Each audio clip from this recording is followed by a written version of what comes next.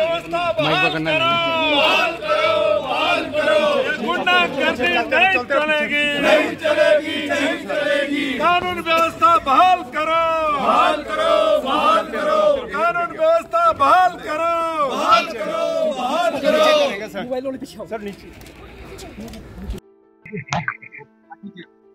आज विधानसभा का मानसून सत्र का पहला दिन है और पहले दिन ही हमने जो प्रदेश में बिगड़ती कानून व्यवस्था पर नियम सतासठ के अंतर्गत स्थगन प्रस्ताव के लिए अध्यक्ष महोदय से आग्रह किया था।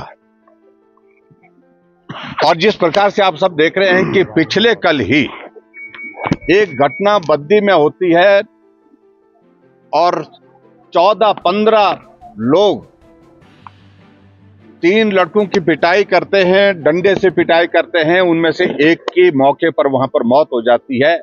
एक पीजीआई में एडमिट है, एक पंचकुला के हॉस्पिटल में।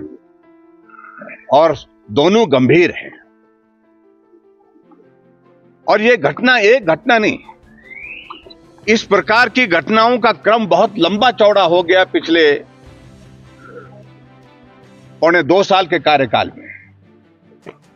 और इससे पहले हाल ही में आप देख रहे होंगे कि बिलासपुर में घटना घटित होती है कि वहाँ पर कोर्ट के कॉम्प्लेक्स में पंजाब से हायर किए हुए गुंडे लाए गए और उन्होंने फायरिंग की और फायरिंग से एक नौजवान वहाँ पर घायल होता है। और इस बात को लेकर के भी ये ज़रूरी है कि जो वहाँ से गुंडे लाने वाले लोग थे, उनमें से एक पूर्व विधायक का बेटा है। और जिस प्रकार से और भी बहुत सारी अनेकों घटनाएँ हिमाचल प्रदेश में, यहाँ पुलिस चौकी के अंदर, पुलिस थाने के अंदर, लोग घुस करके वहाँ पर अफरा तफरी कर रहे हैं, मारपीट कर रहे हैं।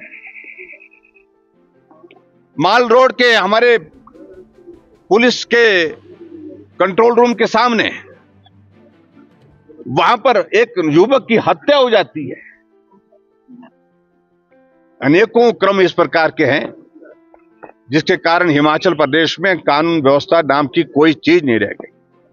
और हिमाचल प्रदेश में पूरी सरकार ने पुलिस को किसी और काम में लगाते रखा है। भारतीय जनता पार्टी के विपक्ष के विधायकों को प्रताड़ित करना, उनके फ़ोन की रिकॉर्डिंग करना, और इसके अलावा हमारे चुने हुए विधायकों को चार चार घंटे पुलिस स्टेशन पर बिठा करके उनको प्रताड़ित करने के लिए इस काम में लगा के रखा हुआ है। और कुछ लोगों को इतनी सुरक्षा दे रखी है, जेड प्लस की कैटेगरी से भी ज़्यादा, चाहे वो सीपीएस है, चाहे वो चेयरमैन है।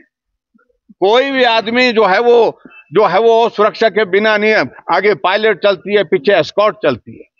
पुलिस ऐसे काम में लगा के रखी है। शिमला में पुलिस हेडक्वार्टर में 25 के करीब अधिकारी हैं जिनको कोई काम नहीं है। लीव रिज़र्व की वहाँ पर उनकी जो है वहाँ पर पोस्टिंग दे रखी है जहाँ एक भी कुर्सी बैठने के लिए उनके पास नहीं है ना कोई काम। आखिरकार ये हो कह रहा है? अब जिस प्रकार से माननीय मुख्यमंत्री और संसदीय कार्य मंत्री जी ने जवाब देकर के इस सारी चर्चा को डाइवर्ट करने की कोशिश की। मेरा यह मानना है कि ना मुख्यमंत्री जी गंभीरता से ले रहे हैं। और जहाँ मुख्यमंत्री जी इस बात का ज़िक्र कर रहे हैं कि हिमाचल प्रदेश में चिट्टे के और जो ड्रग पेडलर्स हैं, ड्रग का जो माफिया है, ये उससे जुड़ा हुआ मामला, जुड़ा हुआ जिस मर्ज़ी से हो, लेकिन कार्रवाई तो कानून के मुताबिक होनी चाहिए। अभी तक जो जानकारी मिली है, बद्दी वाले मामले में तीन लोगों को गिरफ़्तार किया गया। वो बाकी पंद्रह लोग कहाँ कहाँ जिनकी वीडियो बनी पड़ी हुई है। जो पिटाई करते डांग से सिर पे मार रहे हैं और चौक पे मार रहे हैं सबके सामने मार रहे हैं। वो लोग कौन है? वो भी ड्रग माफिया हैं लेकिन संरक्षण उनको प्राप्त है। इस कारण से अभी तक उनकी गिरफ्तारी नहीं हो पाई है। उनमें से चुना जा रहा है कि किस आदमी को गिरफ़्तार करना है और किसको नहीं करना है। इसलिए इस, इस चर्चा की बहुत बड़ी आवश्यकता थी। आज सारा कार्य सारी कार्यवाही स्थगित करके इस विषय पर चर्चा होना बहुत लाजमी पूरे प्रदेश भर में जिस प्रकार की हत्याएँ, बलात्कार की घटनाएँ और ड्रग्स का तो प्रचलन इस प्रकार से बढ़ गया कि जो खुद ही मुख्यमंत्री कह रहे हैं कि घटना ड्रग्स से जुड़ी हुई। तो ये कोई अच्छी खबर है क्या? तो ऐसे में आज इस पर चर्चा नहीं देना। हालाँकि मुझे लग रहा था, अध्यक्ष मोदी जी का मन बन रहा था, लेकिन सरकार के दबाव में मुख्यमंत्री और पार्लियामेंट्री अफेयर मिनिस्टर बार बार इस बात को, इस चर्चा को रोकना चाह रहे थे। अरे चर्चा कब तक रोकेंगे? जो प्रदेश में हालात क्या बन गए हुए? इसलिए हमने नियम शासन के अंतर्गत चर्चा मांगी थी। चर्चा नहीं मिली, हमने वॉकआउट किया।